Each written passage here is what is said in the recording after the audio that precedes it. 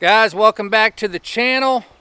I'm back at the Sweet 16 and today I'm going to be working right there on that tiny house. Where I left off was on the fascia and soffits for the dormer. I'm going to work on that today. But I did want to take a second to say younger YouTubers, those of you that are watching the channel, man, I just want y'all to know I see you. You know what I'm saying? I see you guys in the analytics, man. That is freaking awesome. Thanks for jumping on board. Thanks for being an official member of the Tree Tribe. I love you guys, man. It's cool. We're reaching a wide range of audience from super young all the way up. You know what I'm saying?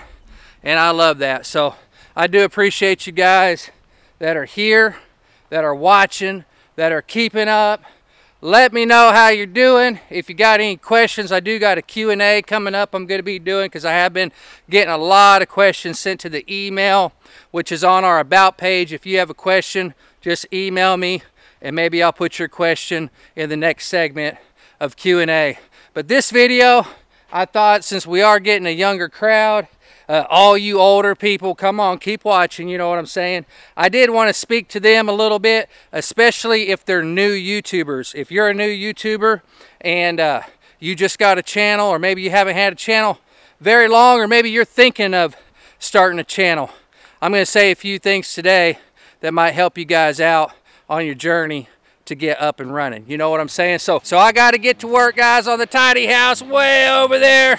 I'm glad y'all are here, but I got to get my tools and we got to get going. Thanks for being here, guys, but I got to get busy.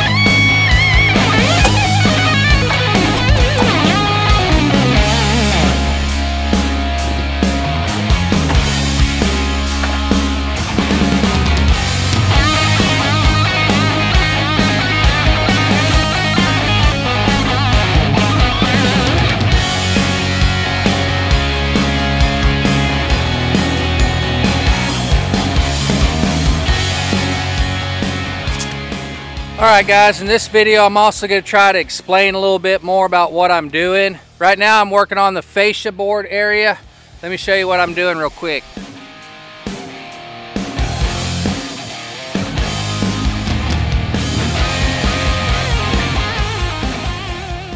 I can't hardly even film that guys. I'm like right on the edge of the scaff and I'm like leaning way over with the camera trying to get the best angle I can of that fascia board man.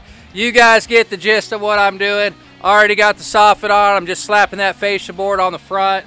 And uh, the fascia boards that I got are one by sixes, so they're actually only five and a half inches wide. And I need about six and a half inches wide. Or I have to piece it. I really don't want to piece it because it's a fascia board. I think I'm going to cut a full piece out of the T111 that I got.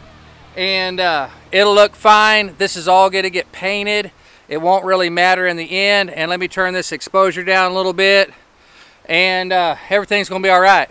So I need a piece about 69 inches long by six and three quarter wide. So I'm gonna go down, cut that. We'll come back up, get that nailed on. After I get that fascia cut on the end of that dormer, I can move around to the side and get that fascia board put up. If y'all remember last time I was doing this, I had my board cut and everything, had all the angles for the roof and all that, and I ended up cutting it about a quarter inch too short. So I do need to recut that board, get that on, and then we'll be able to jump on the other side of the dormer. And if I can get all that done, I'll be super happy. And I gotta go cut this board, so I'm gonna go do that.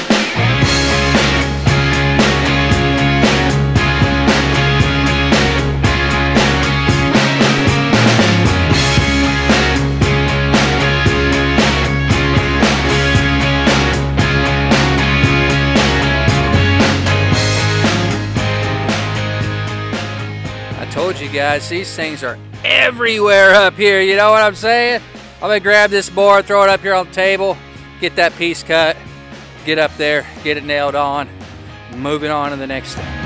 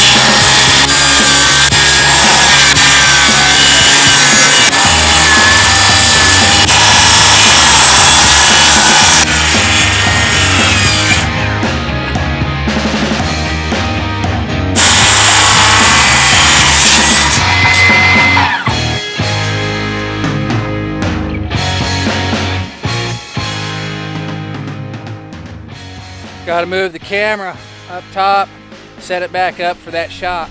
That way we get the angle of the board flying up, you know what I'm saying?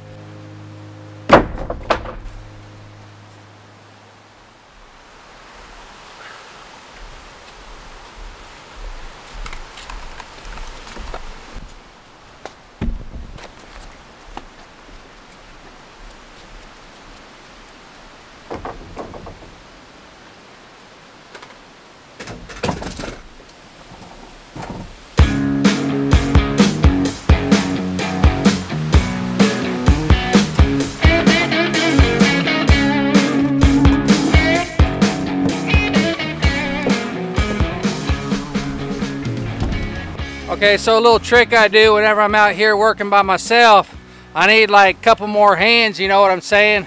So I'll just get these little blocks of wood, and if y'all can see right up here on this corner, boom, right up there, I can't point to it, but right there, I get a little block of wood, four, five, six inches long. I just tack it up with my finish nailer, got an inch and a half nail in there, put one nail in it, and all that does is hold my fascia board up.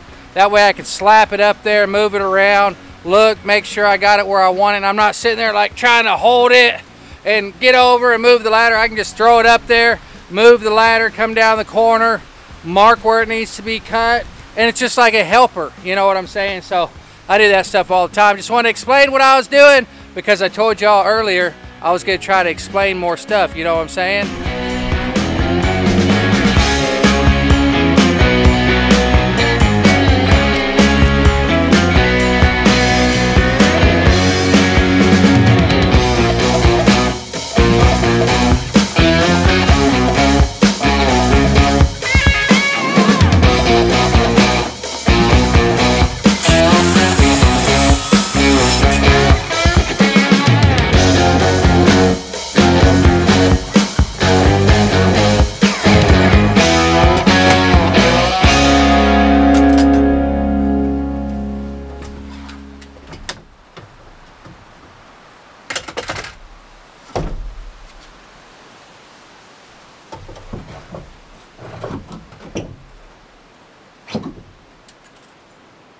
Real hard to get an angle on what I'm doing from there so I'm moving the camera back around to this other side where I'm actually working. Best I can do here is just kind of get a side view. And this wind is really whipping up here on top of the scaff. You know what I'm saying? Check out these trees, man. They are blowing. You know what I mean? Holy cow. I'm just to stop right here, get a short time lapse, show y'all what I'm talking about.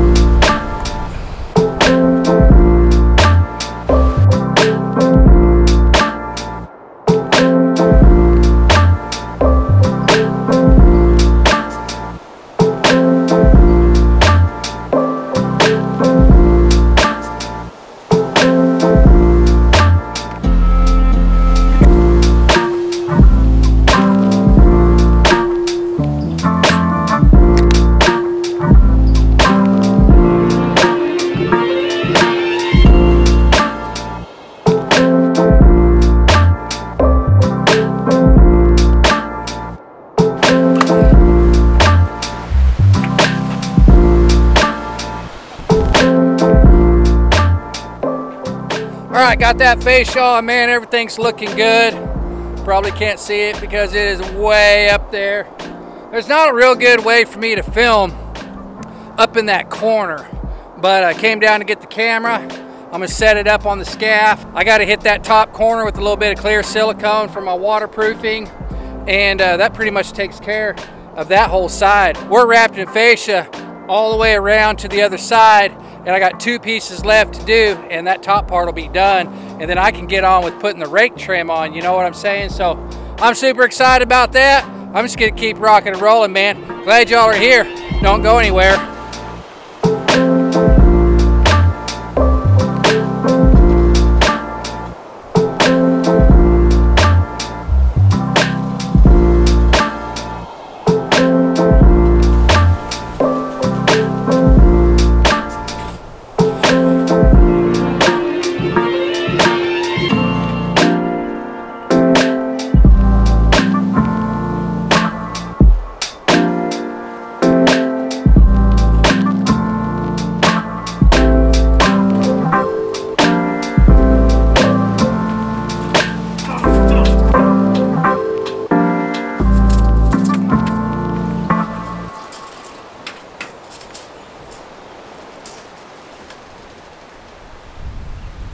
All right, so I'm wanting to get some of that rake trim put on today. The stuff I rustified sitting right here on the trailer. And uh, went ahead and brought the screws down. I want to get some paint on the heads of those screws. That way they're just not silver shiny up against my rusty looking rake metal. So I'm going to do that real quick. And while these screw heads are drying, I'll just jump around on the other side, put up some more fascia board.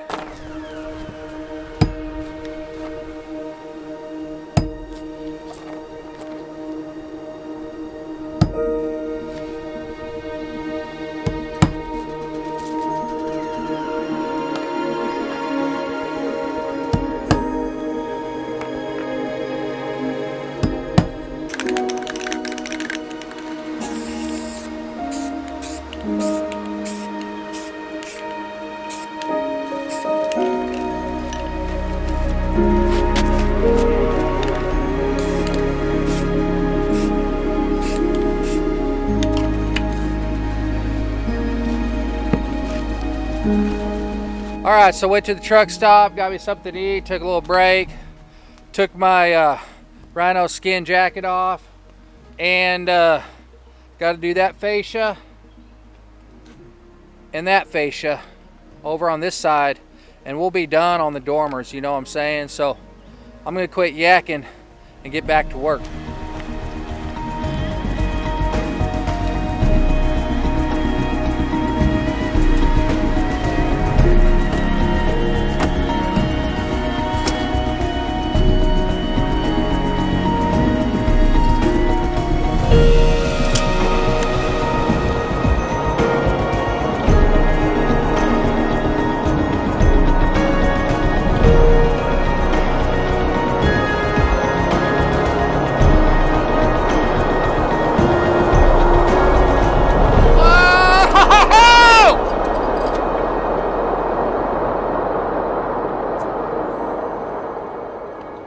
Freaking getting windy up in here, you know what I'm saying? All right, here we go.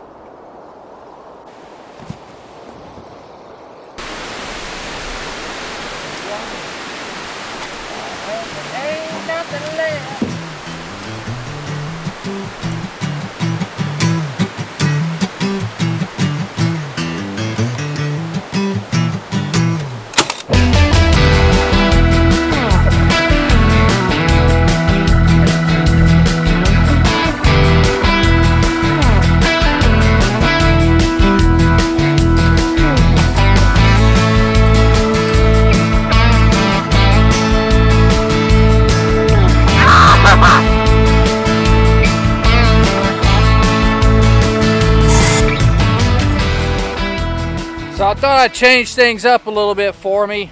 And I decided to put my earbuds in. I thought, you know, I'll just listen to little Eric Church, you know, while I'm working on the tiny house. And that's friggin' awesome because I never listen to music out here while I'm working. Uh, just because I'm busy filming and stuff like that. I didn't really want to be distracted and everything. But today I thought, you know what? I'm a guy that does things different from time to time. And I'm going to try it with my earbuds, see if I can rock out a little bit. But the problem is these earbuds keep falling out. If I lean over too much, boom, I don't know if I got a weird shaped ear hole, you know what I'm saying? But they don't stay in very good. So I think I'm gonna get my headphones on, listen to a little more music, and just, uh, you know, have fun and build a tiny house.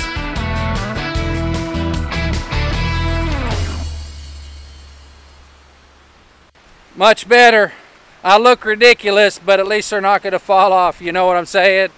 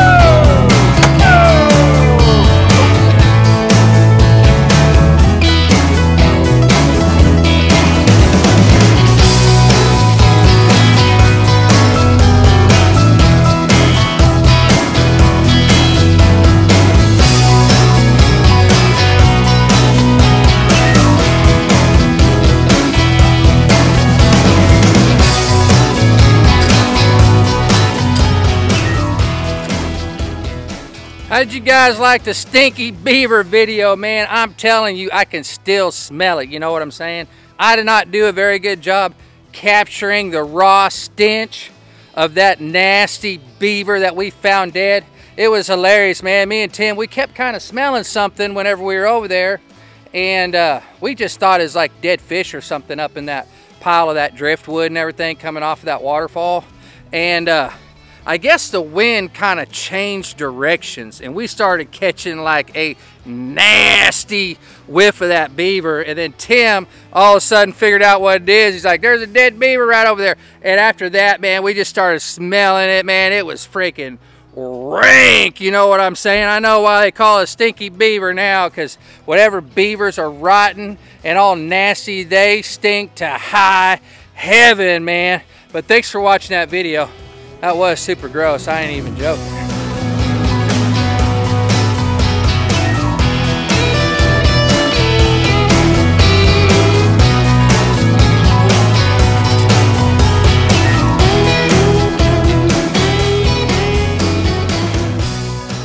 New YouTubers, man, I'm going to tell y'all something right now. You are going to have all kinds of people giving you all kinds of advice telling you you're doing things wrong, you're talking too much, you're not talking enough, you're not showing enough of this, your videos are too long, your videos are too short, you suck at talking, you don't say your words right, you're dumb, you're stupid, you're ugly, you're too fat, you're too skinny, you're gonna get it all. So what you gotta do is every day before you hit record, you got to grab your rhino jacket out of the closet and put it on. You know what I'm saying? It's my rhino jacket right here because it's made out of rhino skin. Why is it made out of rhino skin? Because that's the toughest skin on the planet, man. And I'm telling you right now, you want to be a YouTuber, you got to have some tough skin. You know what I'm saying? So you got to just get yourself mentally into a place where I'm like, I don't care what people think. I just don't. And I'm telling you, it is not easy getting to that point. It ain't. Because we're not just like, I don't feel like we're just naturally like that. You know, you want to, a lot of people want to be super nice and they want to please everybody. You know, they're people pleasers. You know, they spend their whole life worrying about everybody else's feelings and they don't hardly spend any time worrying about their own feelings and what makes them happy. You know what I mean? So my suggestion to you be yourself and you'll be cool. I'll take it one step further. That's a saying my little brother used to say all the time. And uh, I'll just tell you, be yourself and you'll be cool, but you're not going to be cool to everybody. You know what I mean? And the ones that aren't cool with you, they're not meant to be in your YouTube circle, so don't even worry about it. You know what I'm saying? So just be yourself and uh, do it your way. And I promise you, in the long run, you might not grow as fast, but in the long run, you are going to be so much happier. You know what I mean? You can change things up a little bit, but always stay true to your core self. You know what I mean? You can make your videos a little bit faster, do funny things, make them pop and stuff like that, but don't ever change being who you are. Talk how you talk, look how you look, be the way you naturally are. And if you do that, the people that are with you are going to be your hardcore tree tribe.